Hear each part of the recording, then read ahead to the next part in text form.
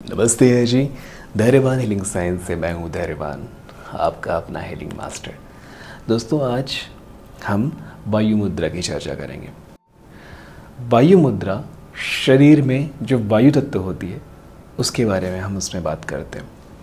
हमारा शरीर five element यानी कि पाँच महाभूतों से, पंच महाभूतों से, पाँच तत्वों से मिलकर बना होता है। आपको पता ही है, फिर मैं बताता हूँ। अग्नि, आकाश, वायु पृथ्वी और जल।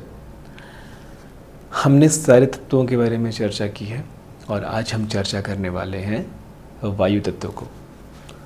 वायु तत्व अगर हमारे शरीर में ज़्यादा हो जाए या वायु तत्व की कमी हो जाए तो कैसे हमारी आध्यात्मिक ऊर्जा गिरने लगती है और कैसे हम अपने आध्यात्मिक ऊर्जा में स्टक हो जाते हैं?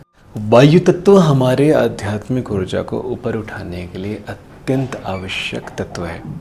हालाँकि सारे तत्व ज़रूरी हैं, लेकिन हमें आकाश तत्व से जाके मिलने के लिए वायु तत्व की आवश्यकता होती है और वायु तत्व हमें हमें ऊपर उठाता है। हीलिंग साइंस में ध्यान, योग, जप, हवन तप, जब भी हम इस तरह की क्रियाएँ करते हैं अपने जीवन में, कि जब हमें अध्यात्म में और ऊँचा उठना होता है तो उस कंडीशन में हमें हर तत्व का पूरा सहारा चाहिए।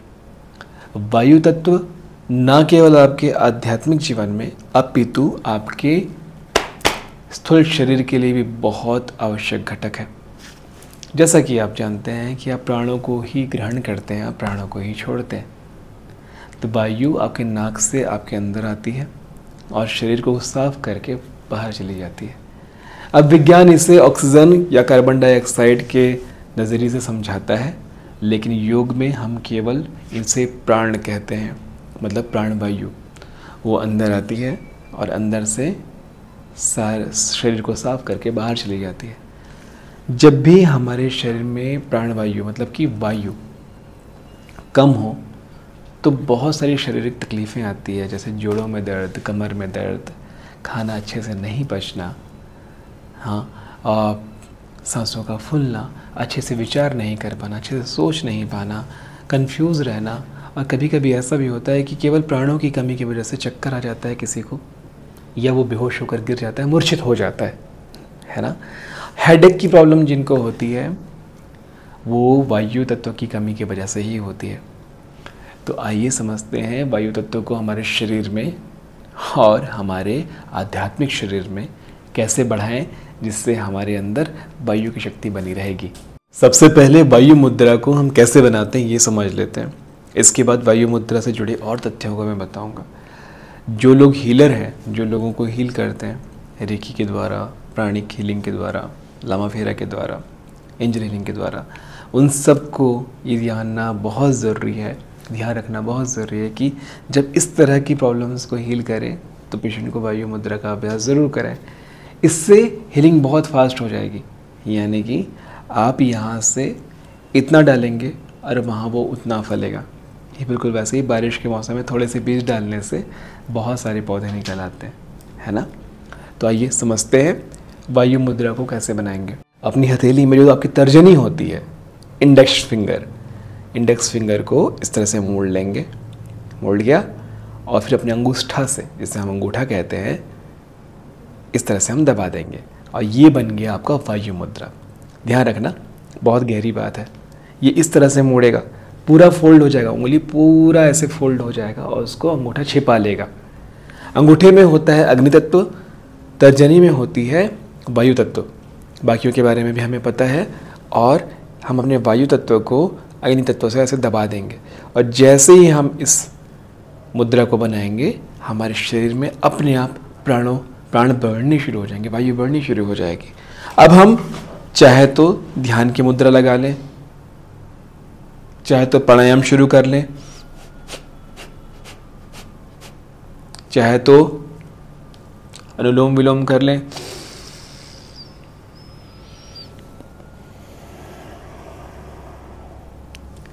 चाहे तो भ्रामरी कर लें,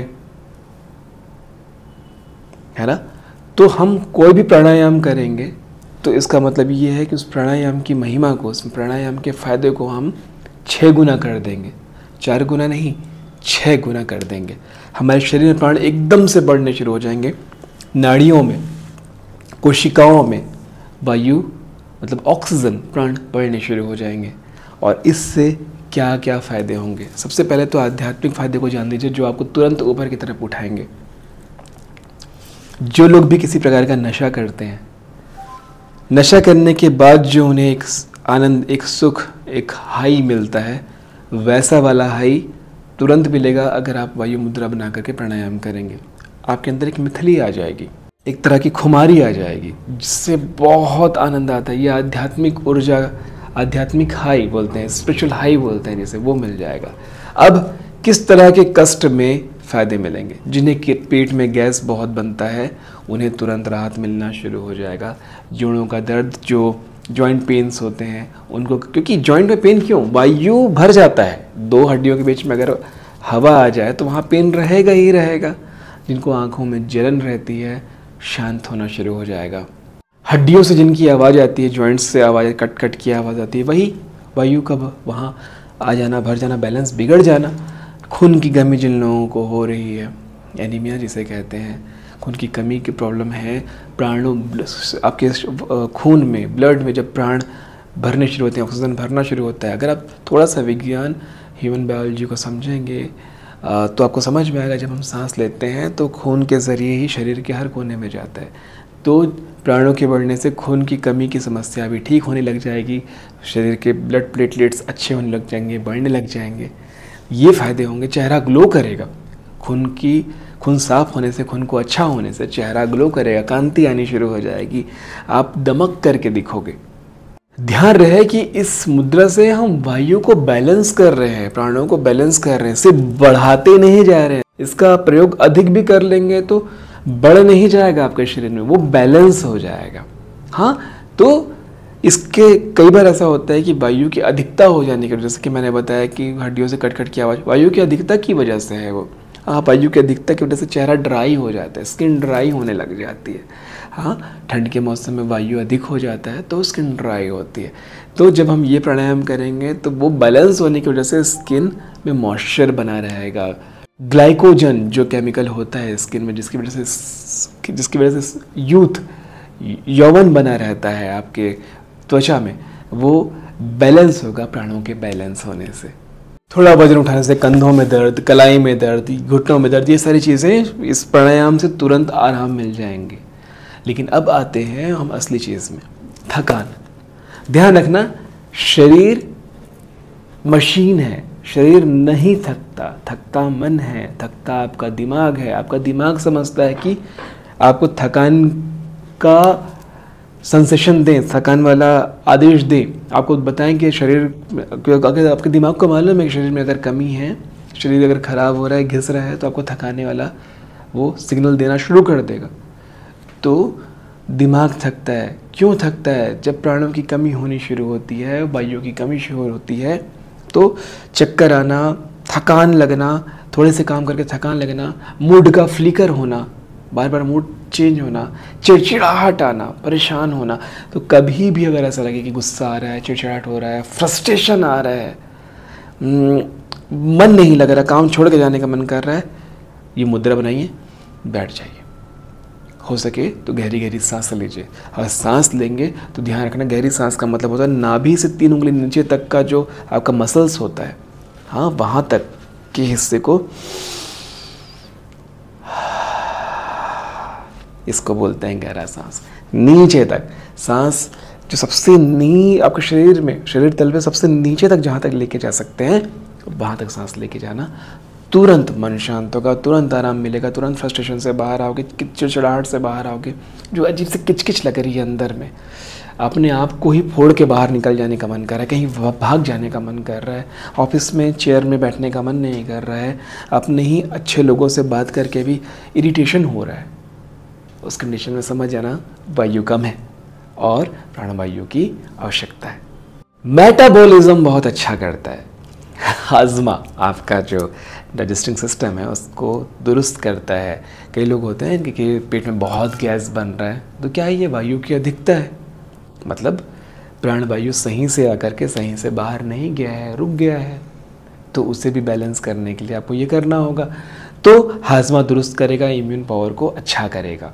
सर्वाइकल पेन में सबसे ज़्यादा काम आएगा ये आपको। सर्वाइकल पेन जिनको हो रहा है, मान के चलो कि वायु की अधिकता हो गई है।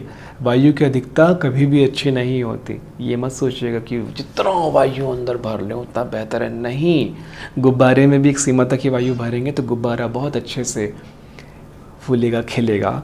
साइकिल के, गाड़ी के, कार के टायर में वायु जब बिल्कुल सही होगी, जैसे मेरी गाड़ी में पैंतीस पॉइंट वायु थर्टी फाइव पॉइंट्स वायु डालना होता है। बाइक में किसी में फोर्टी किसी में फुटबॉल में भी अगर सही से वायु डली होगी, तब वो फुटबॉल सबसे अच्छा खेला जाएगा, सबसे दुरुस्त खेला जाएगा। कम होने से परफॉर्मेंस अच्छी नहीं रहेगी और ज़्यादा होने से क्रैक आ जाएँगे उसमें एक टाइम में, वो फट जाएगा। तो वायु को बैलेंस करने के लिए हम ये करते हैं। अब आपको ये भी तो जानना है ना कि इसे कब कर सकते हैं, कहाँ कर सकते हैं, क्या इसके प्रिकॉशंस हैं? बहुत अच्छी बात बोल रहा हूँ बच्चे।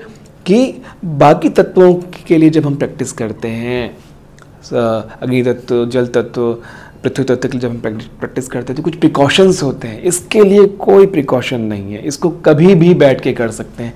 किसी का इंतज़ार कर रहे हैं, मुद्रा बना करके बैठ गए, शांति से बैठ गए। हाँ कहीं जा रहे हैं, बस में ट्रैवल कर रहे हैं, बना लिया। आप पैदल चल रहे हैं पैदल चलने के टाइम ना बनाए, स्थिर हो तब है, शरीर अगर चल रहा है तो उसका फ़ायदा नहीं मिलेगा बना लिए। अच्छी बात है, लेकिन फ़ायदा नहीं मिलेगा। आप खड़े हैं, विचार कर रहे हैं, विचारों से आप मुक्ति पाना चाहते हैं, मुद्रा बना लिया, हाथ में रख लिया और चुपचाप खड़े हो गए, सीधे खड़े हो गए। इस तरह से कर सकते हैं। आप स्पेशली सबसे ज़्यादा, जैसे कि मैंने बताया, प्राणायाम के समय करेंगे तो इसके छः गुना फ़ायदे आपको मिलेंगे।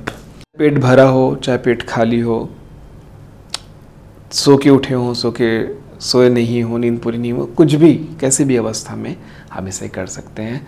महिलाएँ भी अपने हर दिन में इसे कर सकती हैं। कभी भी इसको प्रयोग किया जा सकता है। तो वायु तत्व को हमारे शरीर में बैलेंस करने के लिए हमें ये वायु मुद्रा कभी भी हम प्रयोग कर सकते हैं।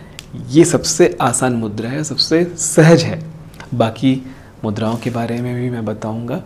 आपको समझ में आएगा बहुत अच्छे से, है ना? एक कन्फ्यूज़न और होता है कि क्या दिन दिन में करना है, रात में करना है। इसे दिन और रात कभी भी कर सकते हैं, है ना? दिन और रात कभी भी कर सकते हैं। योगी जो रात को अक्सर 11-12 बजे के बाद साधनाएँ करते हैं तो वो भी इसे करते हैं। तो ये था वायु मुद्रा।